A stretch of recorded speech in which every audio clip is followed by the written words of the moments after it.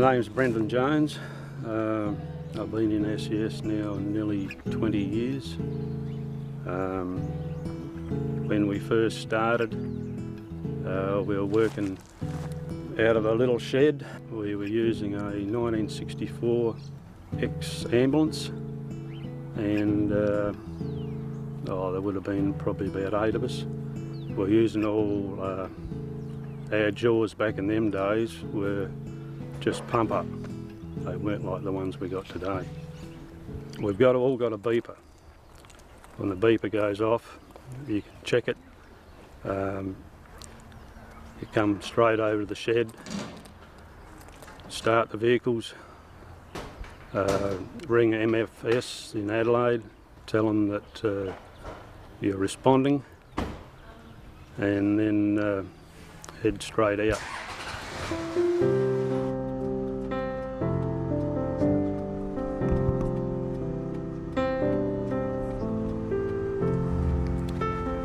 On the way out, I had this premonition that it was, it was one of them. When we got to the scene, it was pitch dark.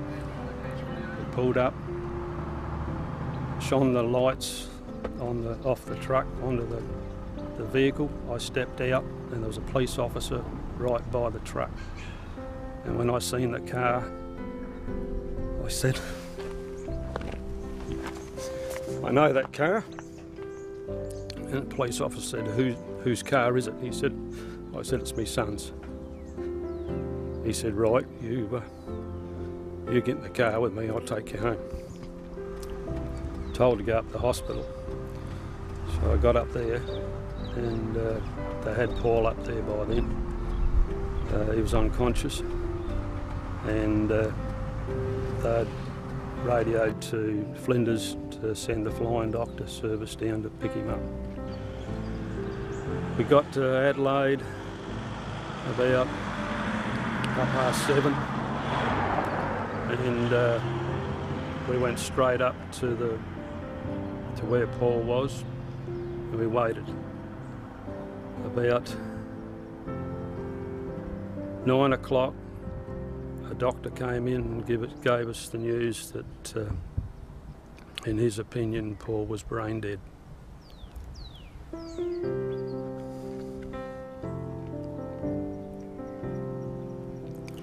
that stage, my wife collapsed. Uh, things were a bit hectic for a while. After we got ourselves together a bit, I knew Paul was an organ donor. So uh, we decided that uh, with his wishes that we'd donate his organs. So uh, then the process went uh, they contacted the Organ Donor Society of South Australia and uh, people came in uh, and between that uh, we had time to go and uh, sit by his bedside, talk to him, stroke his hair. Um, we did that for, that was all day Sunday. Sunday afternoon they said that uh, they would uh, send retrieval units from most states to take, take his organs.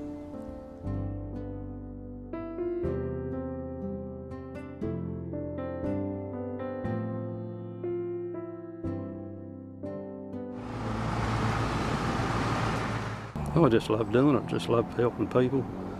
Um, it's uh, people I work with. It's just something that I've, I've always liked. Uh, I know it's it can be a bit of blood and guts at times, but then on the other hand, you can get someone out and you can say, well, job well done. Out here, heading towards Bordertown, there would be, there'd be 10, 10 fatalities in the last or eight years.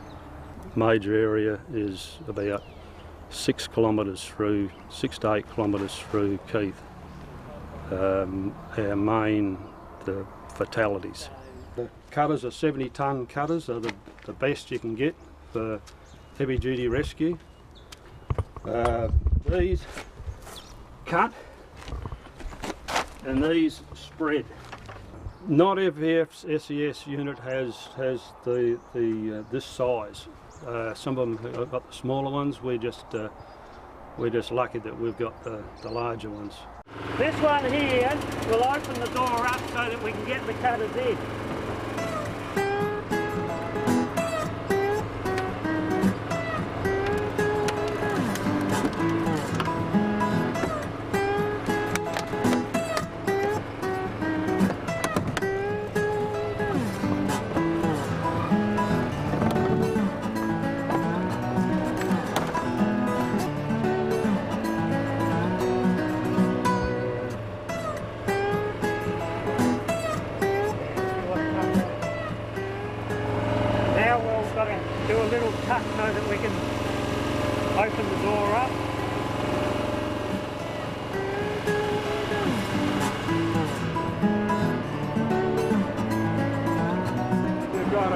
Person there. You need to get them out. You need plenty of room.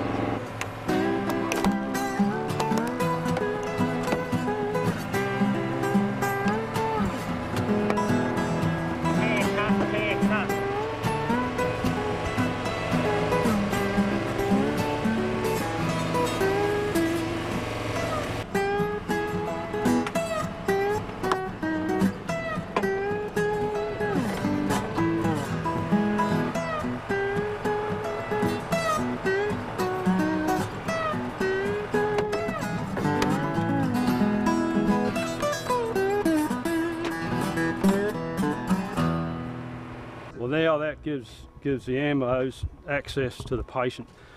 Uh, if if they need to get them out sideways, it's okay. But if they've got spinal injuries, we cut the roof And, and and we use a board, put down the back, and uh, bring them out backwards. If they come into a tree sideways, uh, doors are pushed right in. Uh, their feet could be trapped. If their feet are trapped, then, then we do a dash roll. We cut here, here, and we push the whole dash forward to uh, get them, uh, get their feet out. Yeah, you've you've achieved something. Uh, you've gone out, done the job, and saved a person, and it's yeah. Whereas you can go out there and you can find fatalities, it's a different kettle of fish. You've got uh, you got bad dreams for a few days afterwards.